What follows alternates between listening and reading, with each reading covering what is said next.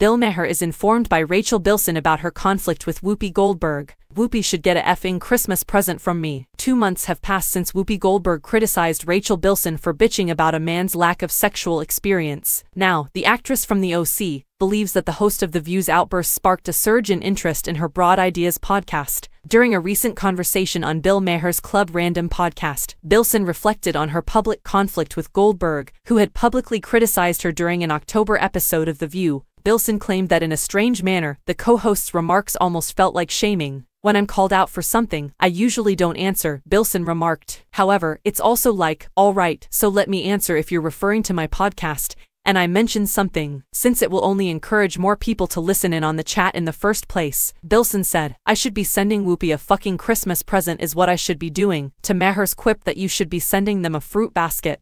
When the Hart of Dixie actress said on a podcast session that it was a little weird for a man in his 40s to have only slept with four women, she drew criticism. She then recanted her remarks, claiming that it was not fair for her to pass judgment, while merely responding to the initial portion of the discussion on Goldberg ripped at the actress and the view. I find it quite strange that you're worried that he's had sexual partners. If he's had partners, why is it your concern? It's not your concern, Goldberg stated in the past. Listen, males were raised to have multiple sexual partners in the past. That was the state of affairs. Women were not supposed to do what males did. Males could go and do anything they wanted. Goldberg went on, that has been changing lately, and you're angry now. I'm not sure I get it. Why are you moaning if you're having fun and he's happy with you?